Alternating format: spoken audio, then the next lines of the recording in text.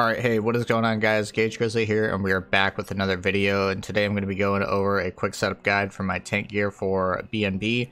Taking it at the M10 level, uh, we're just going to go over it real quick. So whatever elemental modifier is in that mutation, go ahead and gem for that specific one. I don't remember what it is, honestly, I'm recording this after the fact, so, uh, you know, if it's fire, go with fire gems, if it's ice, go with ice gems, void, etc. So, just gem for whatever the modifier is for that mutation. Then I'm going to be running full heavy Lost Ward gear.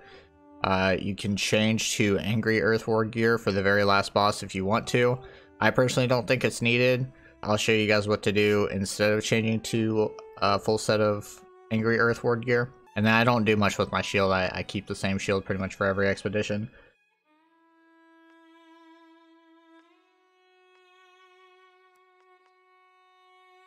And then you can use a lost hammer if you want. I just picked this up. Usually I'm using the other hammer that I have, uh, which has Fortify on it, but uh, you can honestly use whatever secondary you want as far as the hammer goes. If you want to get Lost uh, Bane on it, that's good. Uh, but I was using the Woods Warden for my secondary, and I just picked this one up. It's really good for Ancients, but honestly, it, you can use it for whatever. Uh, I mainly stick with my Sword and Shield anyway, so this weapon can honestly work with anything. And then for your consumables, you want to have Lost Ward potions. Those are going to help a lot. Uh, once you kind of get to the first boss, you want to switch over to uh, Strong Gemstone Dust, or you can use the Infused one. It doesn't really matter.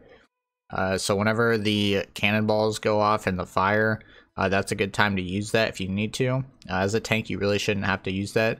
But after the first boss, you guys will see I pop one for the uh, Lost Ghosts, those guys do crazy lightning damage and will pretty much almost one-shot you. So make sure you pop one of those and then also you stand in the healer's sacred ground because it'll it'll kill you pretty quick. And then I'm running the stone form heartrune.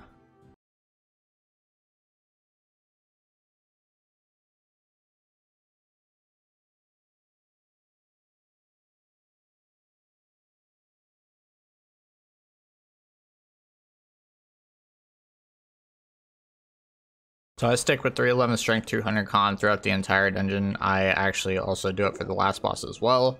Uh, it does get tricky sometimes. You have to be very experienced to play it very well. Otherwise, you're going to get one to two shotted. You got to know the mechanics, when to dodge, and all that good stuff. You'll see in the very beginning, I die because I was literally just attacking, you know, not really paying attention, and I forgot how hard that boss hits.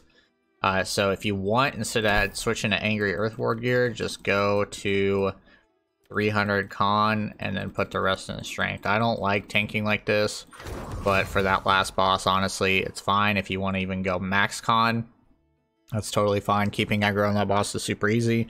Uh, it just hits very hard. So another thing I like to do is rotate my uh, Defender's Resolve and my Shield Rush. So I'll uh, Shield Rush, and then whenever that's done, I'll Defender's Resolve and then Backstab uh, to kind of get those cooldowns faster. And I'll just rotate those so I constantly have some kind of damage reduction up uh, because that boss does hit hard.